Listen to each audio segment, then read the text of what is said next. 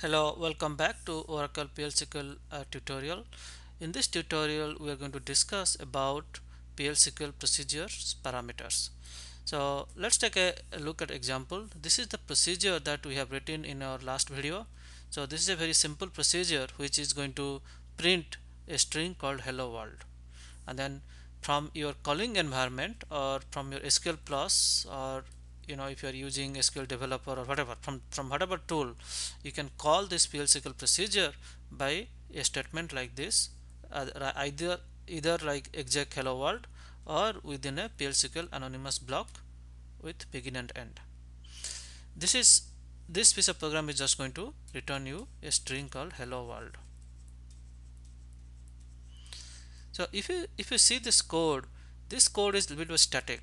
Like if what happens if I want to uh, say hello so my name say Rakesh or hello ABC that means is it possible to change this procedure so that it can print some hello something depending on what I send from my calling environment?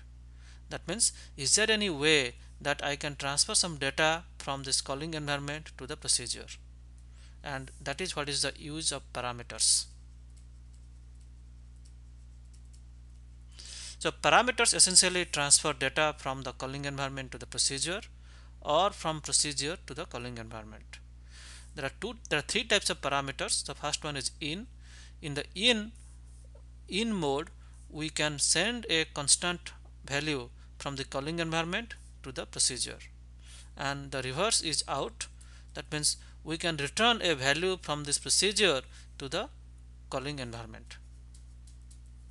And the the last one is combination of in and out.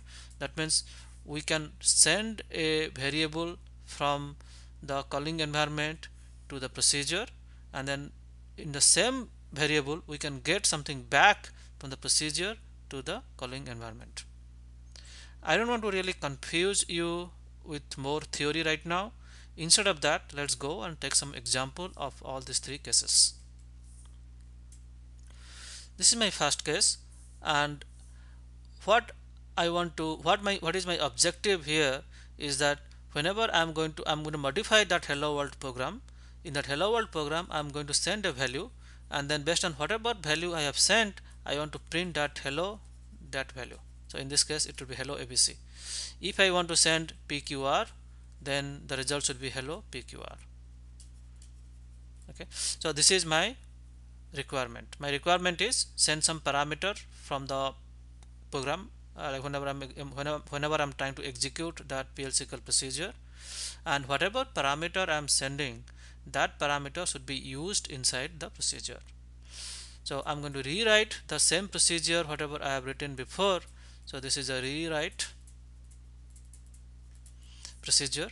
And in this rewritten procedure what I have done if you see I have made a change. So here just after the procedure name what I have given I am giving a parameter name.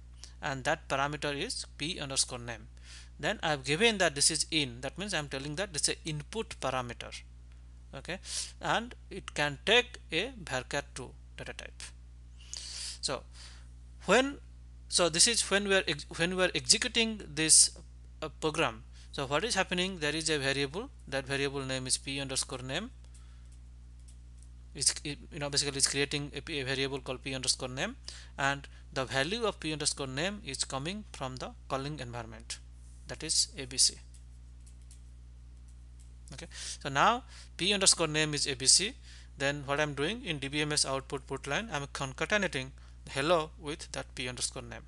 So therefore this is going to return me hello abc so when i'm going to send pqr so p underscore name is going to have instead of abc it's going to have pqr okay so p underscore name is pqr and then dbms output hello pqr so this is how you pass a value from your calling environment so this is your calling environment to the PL/SQL procedure. Okay. So next thing we want to see a another example where we can show showcase you what is the use of out variable.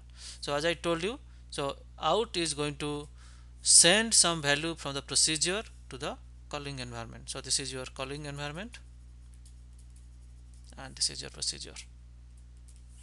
Okay. So out is going to uh, send some value from the procedure to the calling environment. Whereas in is going to send you some value from the from the um, calling environment to the procedure. So I create a procedure. The procedure is p underscore a p underscore b is in. That means input parameter. That means we have something like a string p underscore a and p underscore b is there and also there is a something called p underscore c.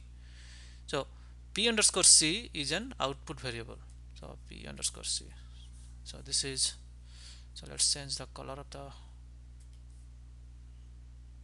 so this is out. And these are in.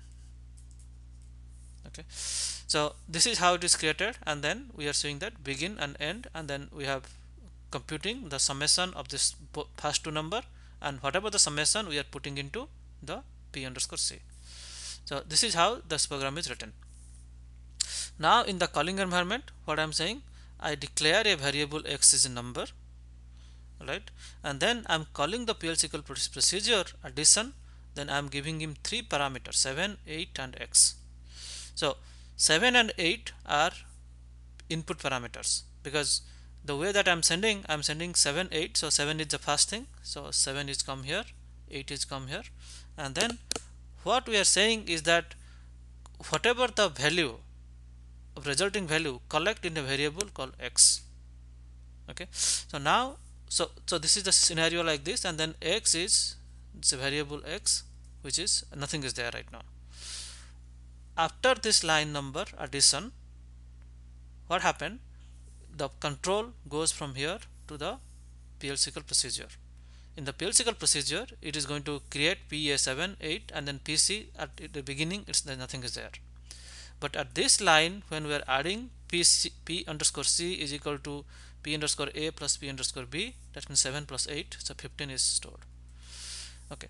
Since P underscore C is a output variable right so what we are doing is we are collecting that resultant value in the variable called x. So whenever the so basically the, the you know so the control is you know after this this thing the control again control again is going to come back to the calling environment because we have already you know uh, executed the PL/SQL procedure. So here what happens? Whatever the value of the output p underscore c is going to store in x. That means from this programming point of view we have at this line before addition call x is null after addition call x is value of p underscore c that is 15 so this is how a output parameter works. Last one is in out parameter. So in out parameter is nothing but little bit of optimized way of using both using one parameter for both input and output purpose so I modified that PL/SQL procedure and then what I did I say that p underscore x is a in out parameter and then that it can take a number variable. So now I define a variable in my calling environment I declare a variable x and that x is 15 so what I'm doing in this line I am calling the in out param with value as x. So that means now I send a variable to this. So now that means there's a variable called x. So this x is nothing but p of x as because you know this is this is what we defined in in out parameter in the uh, procedure. So in the beginning p of x is the, this p of x is also 15 okay so this is x is 15 then whenever I'm sending this thing to the p, uh, p when basically whenever I'm sending the value the value is going to store in p underscore x p underscore x is 15 then what we did we multiply p underscore x with with 3 and then whatever the result we store in p underscore x. So that means this become 45 and then because p underscore x is output parameter that means whatever the value that we are seeing here is going to transfer back to x. Why x? Because this is the one that we sent. So this is also become 45 that means at line num at this line the x value is 15 and and after this line input output parameter this x value become 45 that means x is being sent as an input parameter and then whatever value that x has that can modified that can be modified by the PLSQL procedure and then we may get another out another value of that variable after the PLSQL procedure is executed. Okay so the, the two more things uh, called formal parameters and actual parameters. So whenever we are so this is our procedure. In the procedure this is the specification. And this specification this p underscore a is called formal parameters. Okay? So p underscore a is formal parameters. P underscore b is formal parameters. P underscore c is a formal parameter. Whereas from the calling environment the calling environment whatever value we are sending those are called actual parameters so 7 and 8 are in, in constants whereas x which is the output this is output variable this is called actual parameters. You don't really need to basically do a lot of things with formal parameters actual parameters but this is a naming convention that they use. So the last thing that we want to do how do I pass the parameters? Say for example the same example we have taken the addition of addition procedure. So we have uh, three variables. Pa is number pb is number pc is uh, out, output number. So there are three ways you can pass parameters the first one is method one is called positional. So in the positional I want to send addition 7 8x means that 7 is going to go to PA 8 is going to go to PB x is to PC that is a mapping. But if you don't remember if you don't want to position you can also send in a different way. So whatever is the formal parameters you can basically send by this like like the the formal parameter and then a arrow and then what is the value. So that means what I'm saying here in the named method which is method 2 what I'm saying is that PB the second parameter is 7 the first parameter is 8 PC is X. That means that means I do not need to um, need to obey any positional rule. Instead of that I can just define how my parameters are going to be sent. Okay? So this is how how you are going to uh, do in method 2 the advantage of method 2 is that we don't need to remember exactly how the position you want to you want to send. Because and this is more readable. Because we are clearly saying that the the formal parameter pb is mapping mapped to actual parameter 7 and you can basically do a combination of positional and named. Make sure that if you don't if you want to do a combination make sure that first parameters you know maybe like you know, either first two parameters are, are positional make sure that they are they are according to the position. That means in this case 7 is going to p underscore a whatever the case it is. And then p underscore c is x p underscore b is 8 so I just I just tell you because it is just given but mostly mostly you are going to use the method 2 because it is more clear and it is more easy to maintain. Okay. So now let's take a look at the real problem that we have trying to do. The reg underscore sal this is the PLSQL anonymous block that we have given. So we have given in the last example and this is the reason why you want to know why you want to create a procedure that PLSQL block is not good to execute by multiple users. So now we create a procedure for that. And what we have done here we have taken two parameters. One is input parameters called p underscore empnum and output parameter is p underscore new sal that means I will take an input employee number and I will calculate what is what will be his new salary and then I'm going to return the new salary to the calling environment. Then the remaining you know basically the remaining part of the code remains same except this line. So what we have done here we have selecting job and all this thing employee num is equal to p underscore employee number. So what is the value here? So what what is the name of the parameter? Use that. Okay? And then all other things remain same except p underscore new sal now we are using this variable. So so this is the how you are going to write the PL/SQL procedure and this is how you are going to execute that program.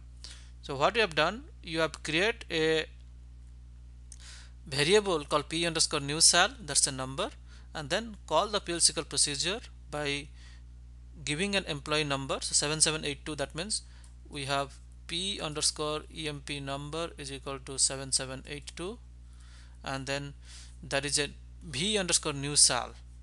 V underscore new sal is there.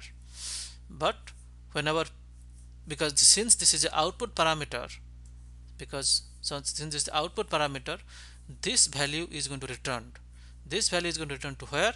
This value is going to return to the variable called v underscore new underscore v underscore new sal. Right? So after this so basically so like you know whenever we call this from you know when you call this procedure the control is going to line number one of the PL/SQL procedure and is going to be executed. And at this point before the procedure is executed new sal is null. V underscore new sal is null.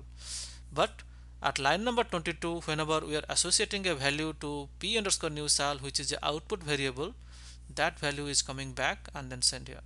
So whatever the result of this computation is going to be stored in this value.